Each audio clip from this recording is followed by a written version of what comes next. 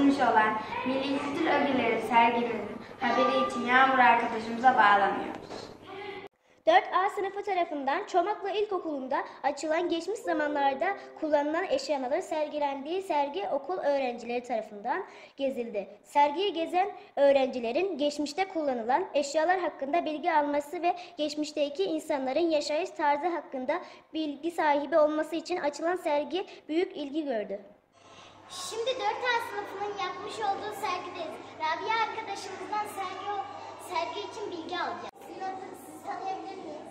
Ben 4A sınıfı öğrencisiyim. Adım Rabia Özcengide. Serginin adı nedir? Milli kültürümüz, milli kültür ögelerimizi yansıtan eşyalar. Sergiyi açan kimdir?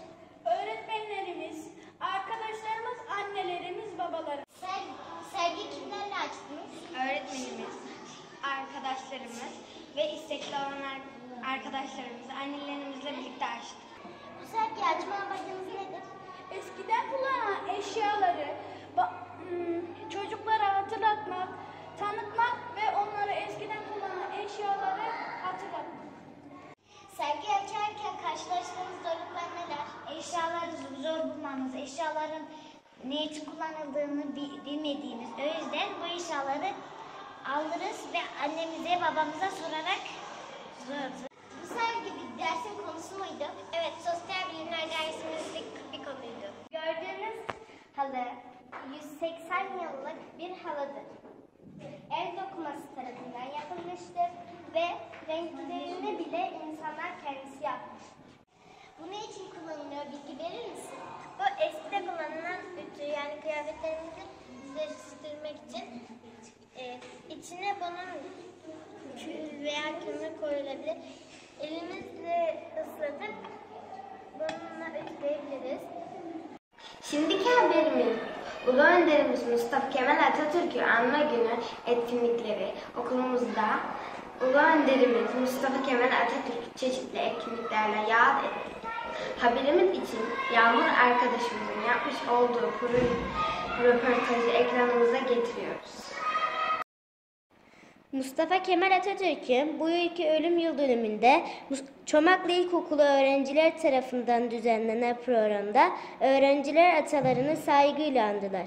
Mustafa Kemal Atatürk'ün ölüm yıl dönümünün 83. yılında okulumuz öğretmeni Özgür Kılıç tarafından hazırlanan program ile öğrenciler atalarını yad ettiler. Şimdi 2A sınıfı öğretmeni Özgür öğretmenle birlikteyiz. 10 Kasım. Ee, Ulu Önderimizin Mustafa Kemal Atatürk'ün ölüm günü. Fakat bence onun düşüncelerinin, fikirlerinin tekrardan doğduğu, bizim e, ulusumuzun, milletimizin ilerlemesi, gelişmesi için e, ışık olduğu bir başlangıç. Yani hep biz 10 Kasım'ı ona öldü diye hatırlarız, üzülürüz, yaz tutarız. Fakat e, bence e, asıl fikirlerinin, düşüncelerinin e, insanların e, ufkunu açan, ona yol gösteren, e, başlangıç sağlayan bir gündür bence.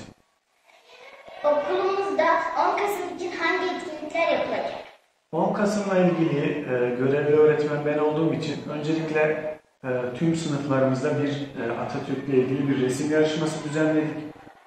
Her sınıfımızdan dereceye giren öğrencilerimize 10 Kasım töreninde ödüllerini sunacağız, madalyalarını sunacağız. Onun dışında sınıflarımızda bütün öğrencilerimiz, öğretmenlerimiz birlikte kendi etkinliklerini yapıyorlar, resimler yapıyorlar, boyamalar yapıyorlar, şiir okumalar yapıyorlar. Ayrıca e, okulumuzun panolarını e, yarın için, 10 Kasım için özel olarak her sınıf e, kendi tasarladıkları panoları düzenliyor. Oralara görsel yapıştırmalar koyuyor. Bu şekilde hazırlıklarımızı sürdürüyoruz. Öğrencilerimizden bugün için Mustafa Kemal Atatürk ne ister?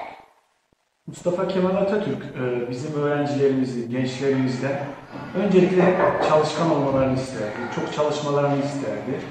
E, Ve onun e, gösterdiği, bizi yönlendirdiği fikirlerini korumamızı ve daha da ilerle, ilerletmemizi isterdi.